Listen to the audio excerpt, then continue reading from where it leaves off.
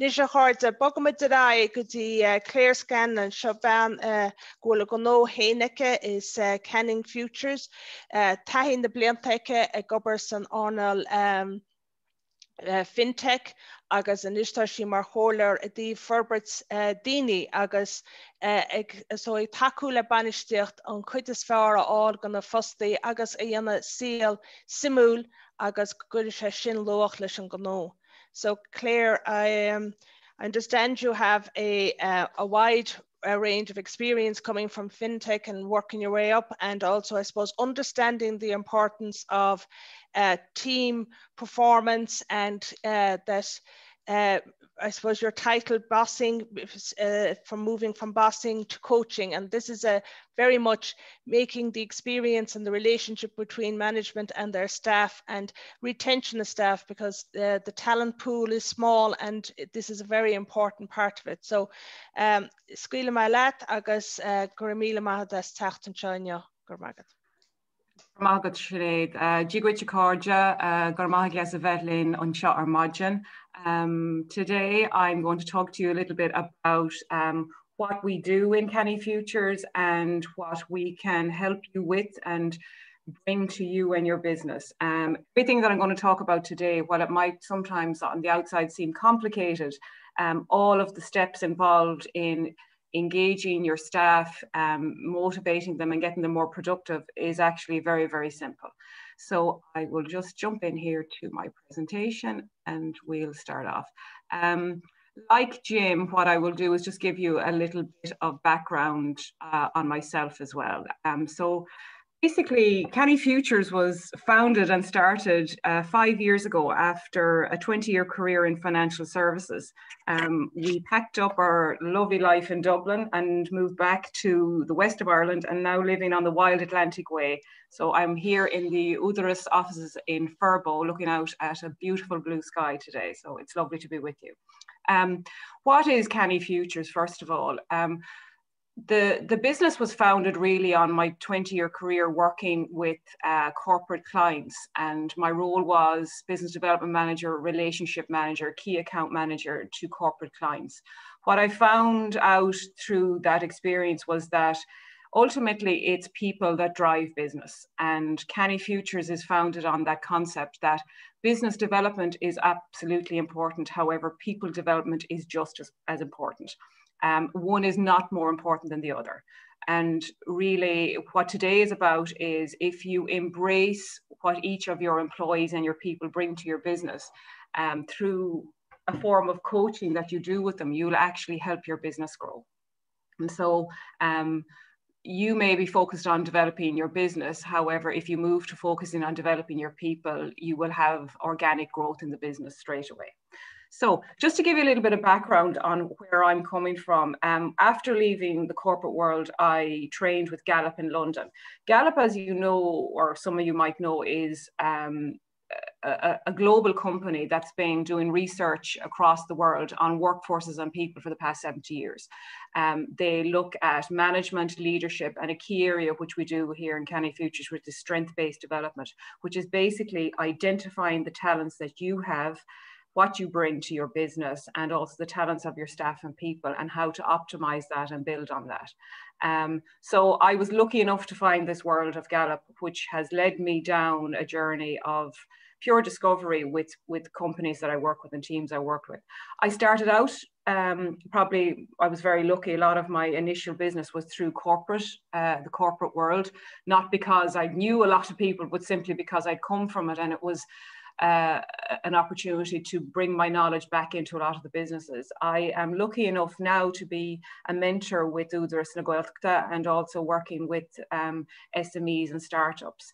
I'm also right in the middle of a fantastic um, a program with Empower Her, which is female entrepreneurs. Um, I'm working with 20 female entrepreneurs at the moment. And like that, they don't realize that they are, in fact, their business's best asset not the marketing, not the product, not the service, but the actual person and what you bring. So we'll talk through that in a little bit more.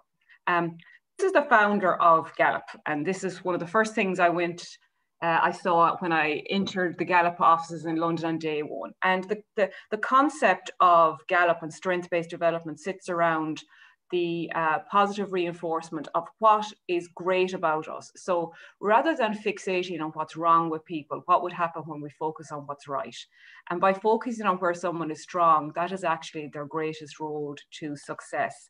Um, you are more likely to achieve success where you're strong than focusing on where you're weak. Your weaknesses will always be there and you do work around them, but focus where you're strong and that's where your success will lie. Um, here we are at the moment, obviously, after spending most of 2020, uh, first of all, being disrupted around how we work, how we operate, and how we live. And now I suppose a lot of people are being forced into an environment that initially was seen as a perk, maybe working from home, maybe having time off on the COVID benefit. People were happy not to be, you know, even in the workplace what's come from it now is the perk of working from home is blurring the lines between home and office. And people are actually feeling an awful lot more pressure now through trying to balance home life, normality with um, their commitment to their job, being productive and um, being engaged.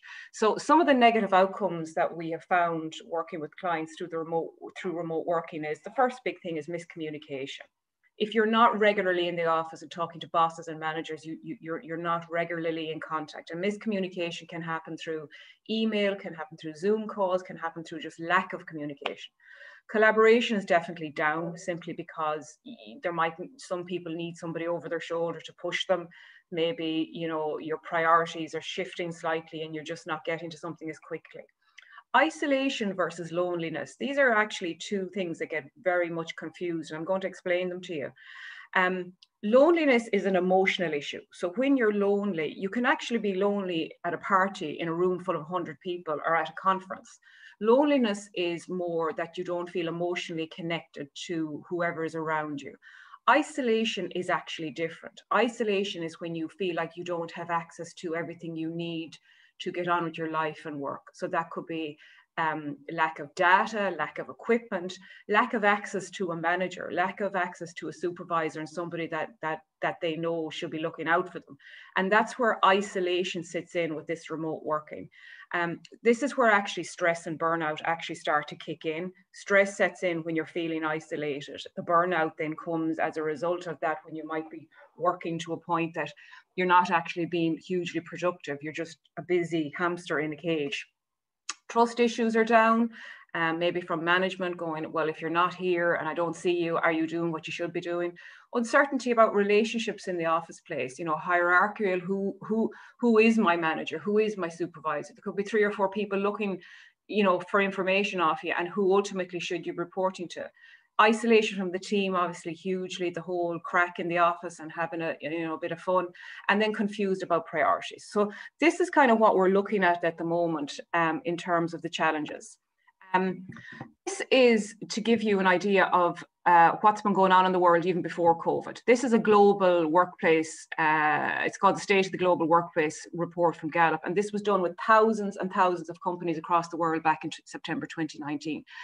The re results are shocking. Back in September 2019, um, 85% of employees were not engaged at work. And that actually meant that only 15 of us were turning up engaged. Um, the outset of that is disengaged employees are actually harming your business. No, so right, we hear this great buzzword engagement, you know, and uh, you hear it everywhere at the moment. You hear it in HR, you hear it at CIPD events, you hear it everywhere. Um, what does it actually mean, right? So I'm going to give you a little bit of a, a, a tour on what engagement means because I think it's important. Engaged employees are people that actually speak favorably about their job. They are actively in growing your business, right? They're emotionally connected to the business and they feel like their opinion matters and they see a career path.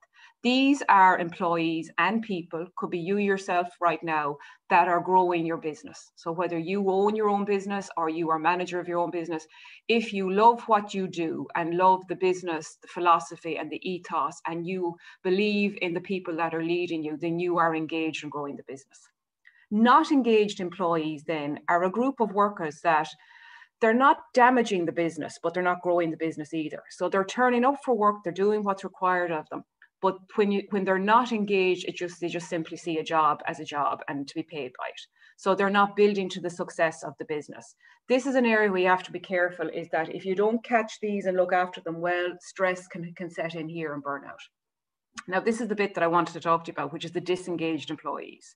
Um, disengaged employees are employees that are actually no interest in the business, maybe don't believe in you as a leader or manager, don't feel like they can trust you.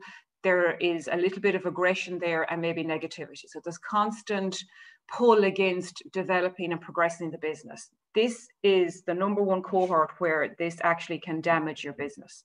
So if you see your business like a house and your employees like building blocks, the people that are engaged will build the house with you and you'll have a beautiful house at the end of it. The disengaged employees are the ones that have no interest in building the house with you. Um, and this is where you actually need to look after these employees so much more. Remote working for disengaged employees is a nightmare because not only are they not physically in the office with you or in your workplace, whether it's a hotel, a pub, a fish factory, whether it's a, a, medical company, whether it's out on a farm, if they're not engaged, you need to try and get them back engaged again. Okay. So um, you may not believe this, but again, more data from Gallup that you as a manager are hugely responsible for the experiences that your employees have. So 70% of your employees' experience sits with you. So you're the most important factor in, in ensuring that the employee succeeds, is productive and reaches their goals, right? So by focusing on an employee engagement, you're actually going to increase their performance. You're going to show that commitment between them and you to leading them down a road of achieving their goals. And at the end of the day, if you take more interest in your employees, you'll actually get more satisfaction yourself and they will also. Um, and this is just a little bit of a reflection for you. Um, a part of what I do, as I said, is about strength based development, where we focus on the talents of the people on your team and you yourself in understanding what do you bring to the table. One of the first things I say to companies and, and, and managers I work with, I've gone into companies where a manager has said to me, off you go there now, Claire, and work with the team over there. And I say, hang on a minute, it's you I have to start with. And a manager will go, oh, sure, look, I don't have time. I have a full agenda. I don't have time to sit down and talk to you. Everything stops and starts with the manager and this may be a realization today for some of you, but in actual fact, everything stops and starts with you. Now, if you have managers above you, obviously, you know, how they lead and how they they they manage you has a direct impact on you. So we're, we're you know, if you're in a hierarchical business, then everything has a knock-on effect. So if you're if you're a manager and you're not engaged, more than likely the manager above you is not spending time on you as well. So it's a it's a trickle effect. So reflection is do you know what you bring to the table as a manager? Do you know your own strengths? Do you know how you lead? Are you an analytical type of a manager that loves data? If you are, then you're more than likely going to look for more data off the, off the people underneath you. Do you love to chat? Are you a big communicator? You want to get to know your people. More than likely, you want that from your staff as well. So the first thing is understanding what do you bring to the table as a manager. Um, Secondly, how are you engaging teams? Are you building trust between the work colleagues or are you causing division? You know, sometimes unknown to ourselves, we have a favorite and go, Asher, he's great or she's great. She gets on with everything. Ask her to do everything. You know, that creates mistrust then between employees if they see the one as being more of a favorite than others. So building trust is very, very important across all employees. Um, do you take responsibility for engaging all of the staff and helping them reach their performance targets? Do you have regular check-ins with them and make sure everybody knows um, what's required of them and you know that you actually care? And this is so important now with remote working. How often, if you have people working for you, even if your business is closed and they're all at home, um, and, and you're thinking, oh, they're grand, they're not at work. You know, have you ever thought about picking up the phone to them and saying, listen, how are you getting on? Are you stressed out at the moment? How do you feel about coming back to work? Look at things when we're trying to get things back up and running again. So it's really important that if you have people under you, you should be communicating with them and making them feel still valued, even as you go through maybe you know, whether it's level five down to three or one to three, we could be in and out of this for an awful long time. So keep staff. Um, this is the Gallup path. I learned this on day one of Gallup school, and this is a phenomenal path. Now, it's a bit ugly looking because it's so old. It's back from the 90s, and I tried to get a nicer updated version, but The Gallup path is basically which shows the direct link between your employee's contribution to the workplace and the overall success of the business and it's it's i find this phenomenal because it simply says when you identify what your your your your, your employees and you yourself are good at you find then roles and um, jobs that fit around what they're good at that creates success and if you're a manager that's doing that, then you're engaging your employees. And guess what? When your employees are engaged, they talk favorably about the business, that'll have a knock on effect on your customers. What happens then? Customers want to do business with you because people ultimately want to do business with people. That uh, increases growth, sales, profit, and so on. And um, you will find as I had said from the outset, when you stop bossing your employees and actually start coaching them and nurturing them, your business will grow. Um, again, just a little bit. Of, I've, I've, a lot of slides, but I'm, I'm literally flying through them because there's so much information yeah, that I want to share. About two more minutes, Claire. Okay. Now, Thanks. this is just to show you what people want nowadays: a leader as a coach, ongoing conversations, strengths development. Um, they want uh, not just a pay; they want a purpose. Um, four pillars of effective management. This is talent identification, employee engagement, performance management, and strength development. I'll share all of this with you as well. Wanted to just show something to um, you on recruitment. So people that receive strength-based coaching, higher employee, employee engagement, higher performance, and lower attrition. Something I just wanted to touch briefly on was how to re uh, recruit successfully um, remotely date interview techniques are pretty much out of date. You need to speak to what motivates a person to understand um, where they fit into your business. So asking somebody, what do you love to do? What do you love to accomplish? Tell me about success you've had in the past. How do you think you got it? What gives you energy? These are ways of engaging a person even before you hire them to understand what motivates them. And finally, guys, just to talk to you, how do you actually do all of this? Stop bossing, start coaching. Here are the steps regular one-to-ones with people, get to know each person on your team, understand what they bring to the team and how you can help them more. Ask them as a manager, how can I help you more? And this is how you can help me. Give them the tools they need to be successful. Help them to grow, give them the authority that you've granted them, let them actually do what they need to do, recognize their achievements, encourage them. And actually, if you find employees that care about the customer, you're on a winning streak because they are the ones that actually will grow your business. Okay, Sinead, Thanks, Sinead. Claire.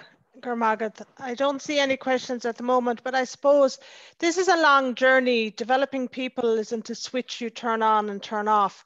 I suppose what is the, does it come down to your communication style? Is there, what would be your the primary thing or do you have to look at yourself and your first or what's the first i suppose step in this um, in this yeah. journey to to engage and to ensure you have more engaged than disengaged employees. If you think about yourself right now as in what motivates you and literally if it's not being done for you what would you like to do for your staff? The simple things like pick up the phone. We live in such a technical world at the moment. We can do everything. Ping a message ping an email i can't emphasize enough by picking up the phone and having a simple chat checking in with your staff and asking them how they're getting on. This the, none of these things will actually cost your business money. Check-ins with them what have they on their to-do list at the moment? What are they struggling with? What are the priorities? Let's have a chat about what you think your priorities and actually what I think the priorities are. And often there's a big void in the middle. So having real conversations around where are you going in this business and how can I help you get there and what do you want to achieve? And it's just understanding the questions to ask. And that in itself will immediately engage your staff even more. Okay.